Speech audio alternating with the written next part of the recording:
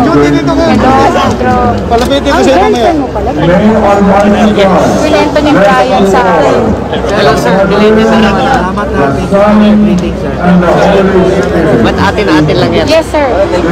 Ah, ka ah. Hindi raw sinasadyang madulas at may booking ni Bacoor City Representative Lani Mercado habang naka-Facebook Live, ang tungkol sa sikretong pakikipagrelasyon ni Ilocos Norte Representative Sandro Marcos.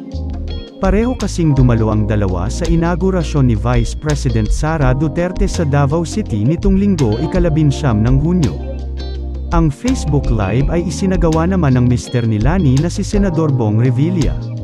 Makikitang matapos mag-shake hands ay biniro ni Lani si Sandro, ayon sa ulat ng Philippine Entertainment Portal o PEP. Hello, Sandro. Ang girlfriend mo pala is taga Bacoor. Nakwento ni Brian sa akin, ani Kong. Lani na ang tinutukoy na Brian ay si Brian Revilla, panganay nila ni Senador Bong. Yes po, ang tugon naman dito ni Sandro. Ngunit pahabol niya kay Lani, but atin-atin lang yan, ha? Tugon naman ni Lani, yes, sir. Sa Instagram post naman ng showbiz columnist na si Manay Lolet Solis, tinukoy niya na ang jowa ni Sandro Marcos ay ang starlet na si Alexa Miro, na mapapanood naman sa noontime show na Launch Out Loud sa TV5. Talagang nagkaroon ng baptism of fire sa showbiz si Sandro Marcos, Sav.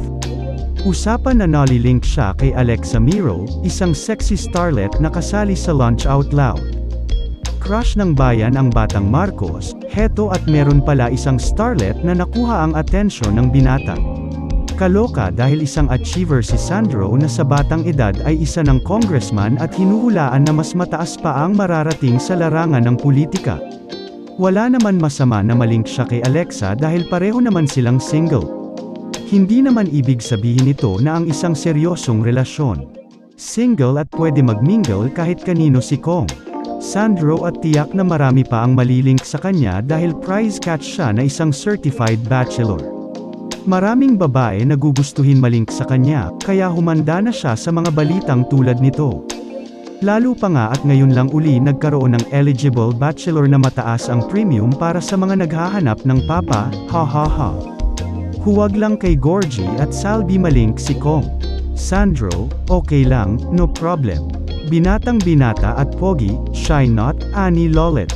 Samantala, wala pang tugon o pahayag dito si Kong Sandro Marcos. Kung nagustuhan mo ang video na to, huwag kalimutan mag-like at mag-subscribe para lagi kang updated sa mga bagong videos ko. Salamat!